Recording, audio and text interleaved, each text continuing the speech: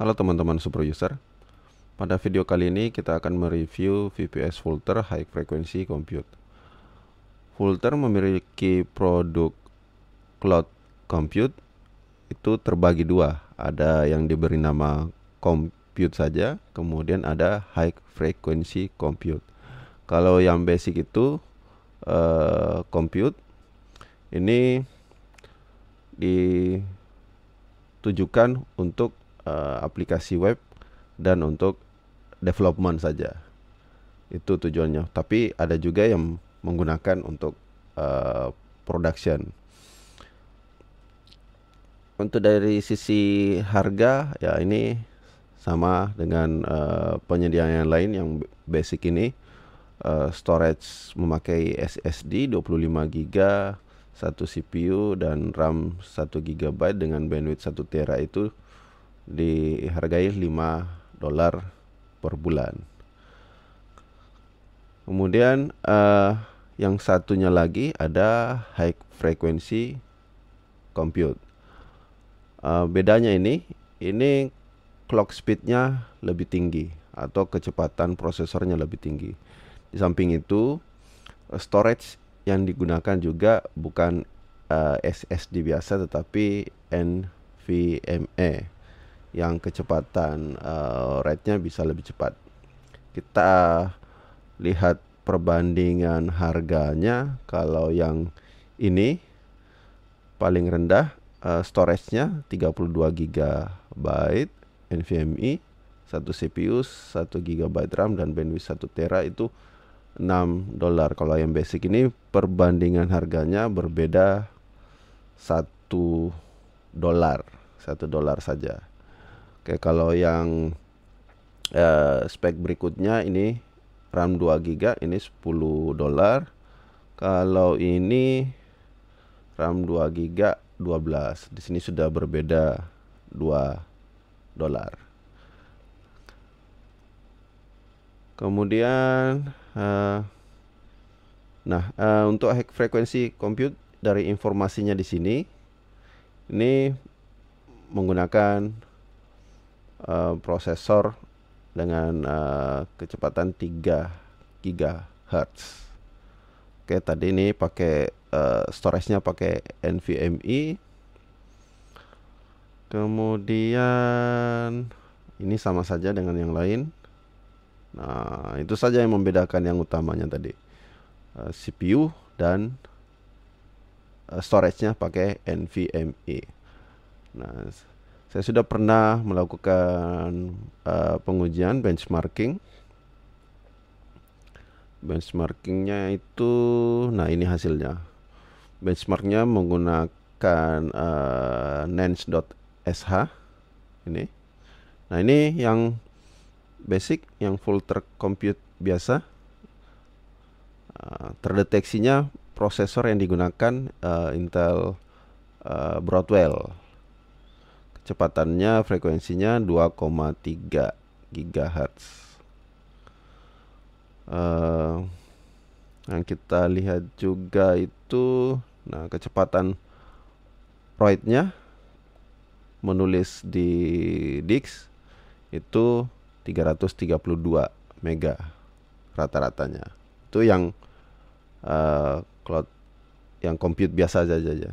Kalau yang high frequency di sini terdeteksi memakai prosesor Intel Skylake dengan uh, frekuensi 3,6 uh, GHz.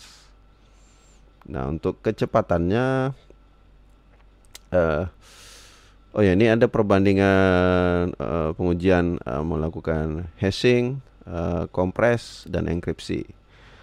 Kalau perbandingan tadi yang di atas ini uh, 3 detik lebih SH256 yang kalau yang ini hanya butuh 2 detik. Nah, kalau yang ini butuh kompresnya yang standar butuh uh, eh, 6 detik. Yang ini butuh waktu 4 detik. Dan yang terakhir untuk enkripsi AES 1 detik kemudian yang ini 0,957 detik. Oke lalu kita melangkah ke kecepatan ride ride speed. Ride speed yang hanya SSD saja itu rata-rata di 300-an mega megabyte per second Sementara yang memakai high frequency ini pakai NVMe kecepatannya bisa sampai 1 gigabyte per second. Nah, pengujian lainnya menggunakan untuk load test. Uh, ini terpasang WordPress default saja dan diuji dengan menggunakan loader.io.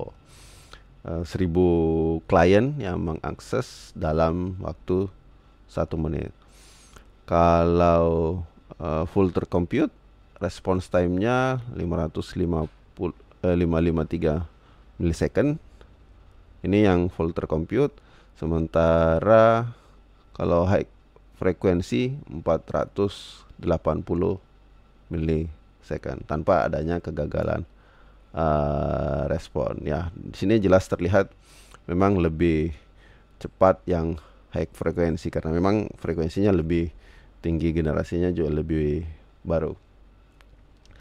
Uh, nah, nah kesimpulannya uh, hasil review singkat ini, nah high frekuensi ini layak untuk dipertimbangkan. Nah ini sesuai sesuai targetnya tadi ya ini sebenarnya cocoknya web aplikasi atau development environment saja untuk environment pengembangan aplikasi. Sementara yang ini uh, yang high frekuensi yang aplikasinya sangat memerlukan uh, eh, CPU dengan clock speed yang lebih tinggi. Dan kalau butuh perilaku aplikasinya datanya sering nulis ke Dix. Nah, disarankan untuk memakai yang NVMe. Harganya juga tadi tidak uh, beda jauh untuk yang spek standar yang tadi RAM 1 GB kalau cukup atau paling tidak yang butuh RAM uh, kalau butuh RAM 2 GB Nah, itu 12 dolar perbandingannya dengan yang ini. Ini uh, ini harganya 10 dolar yang tadi high frequency dapat 12 dolar. Nah, ini seperti itu uh, review kita kali ini. Jadi kalau membutuhkan uh, CPU frekuensi yang lebih tinggi atau uh, sebenarnya tidak mengutamakan CPU tapi lebih butuh disk yang lebih cepat uh, dalam menulis data. Uh, disarankan pakai yang uh, high frequency compute ini. Sekian video kali ini. Sampai jumpa di video berikutnya